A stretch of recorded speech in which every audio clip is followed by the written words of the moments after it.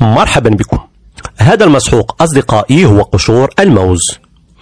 استعمال قشور الموز بهذه الطريقة أي مباشرة طبعا طريقة خاطئة. أصح طريقة كي يستفيد النبات من عناصر غذائية مهمة كالبوتاسيوم والكالسيوم والمنغنيز والكبريت.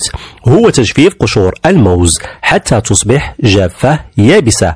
بعد ذلك نطحنها في الخلاط لتصبح على شكل بودرة أو مسحوق. هذه هي النتيجة. مسحوق سيجعل نباتاتنا تنمو بشكل رائع وتزهر بشكل كثيف وأيضا ثمار بحجم ومذاق رائعان. نضع هذا المسحوق مباشرة للتربة ونسقي بعد ذلك. ومبروك عليك سماد قوي وآمن ولن يتسبب طبعا في جذب الحشرات ولا تكون الفطريات. استعمله مرة في الشهر لكل نباتاتك بدون استثناء وستصدمك النتيجة. اشترك الآن. أهلا وسهلا بكم. هذا الماء نقعت فيه الشاي لمدة أسبوع وهذا نقعت فيه قشور الموز لمدة 24 ساعة.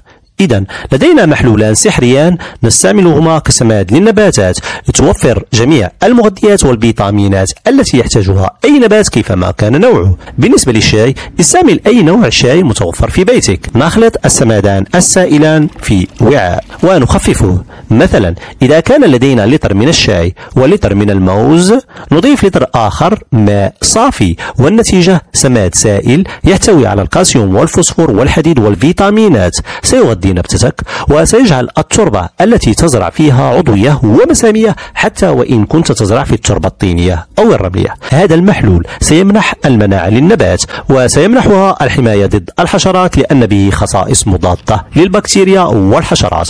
استعمله مرة كل 20 يوما واشترك في بذرة. شتلة الطماطم الصغيرة هاته تحتاج الآن لجذور قوية كي تنمو النبت بشكل جيد وسليم وتعطينا الأزهار والثمار. هذا المحلول كنت أرميه في القمامة سابقا. الآن بدأت أسقي به نباتاتي لغناه بالمعادن والفيتامينات والأحماض المهمة لأي نبات كيفما كان. هذا المحلول يتميز كذلك بخصائص مضادة للبكتيريا. بكل بساطة أصدقائي هذا المحلول هو بقايا الشاي أو تفل الشاي. نأخذ أي نوع شاي كيفما كان. ننقعه في الماء لمدة سبعة أيام حتى عشرة أيام. نصفيه ونخففه للنصف ونستعمله عن طريق السقي أو الرش. وبالإضافة للمغذيات فهذا المحلول كما قلنا يعمل كمبيد حشري.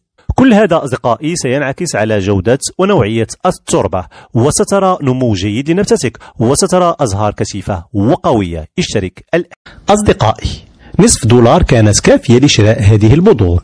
لن نصنع منها المايونيز أو الموطار أو الخردل بل سنصنع منها أقوى سماد مغذي للنباتات. وبإضافة أخرى بسيطة سنصنع منها أقوى مبيد حشري وفطري. طبعا نتحدث عن بذور الخردل. خذ 50 جرام منها اطحنها في الخلاط. البودرة المتحصل عليها ننقعها في 5 لتر ماء. نتركها لمدة 24 ساعة حتى تتجانس وتطلق الفوسفور والبوتاسيوم وحمض الفوليك وباقي العناصر المهمة للنبات. بعد 24 ساعة سيصبح المحلول بلون أصفر ونستعمله كسماد.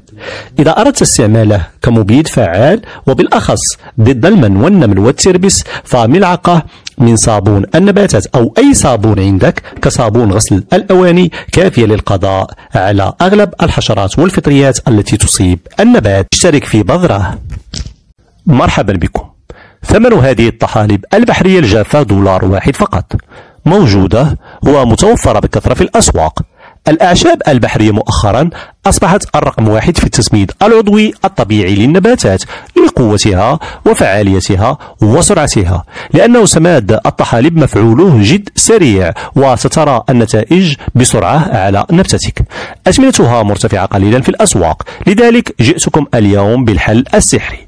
استعمل الأعشاب البحرية الجافة. هي غنية بالمواد المغذية والفيتامينات وستجدها في السوق بكثرة وستجد أن ثمنها مناسب.